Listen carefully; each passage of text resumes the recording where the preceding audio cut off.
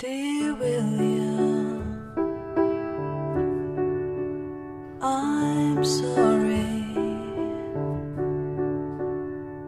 First words I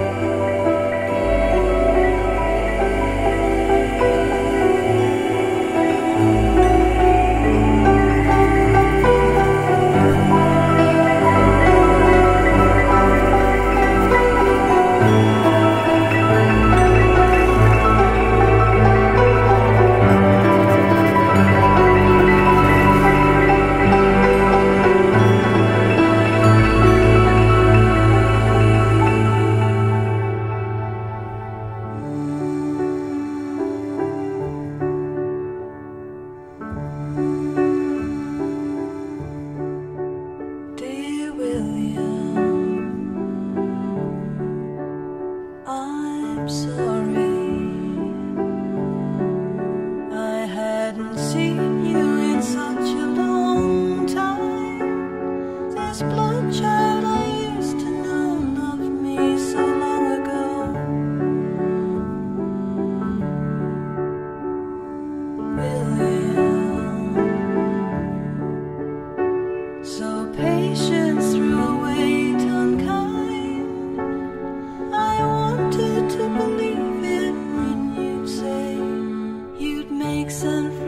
let's go on.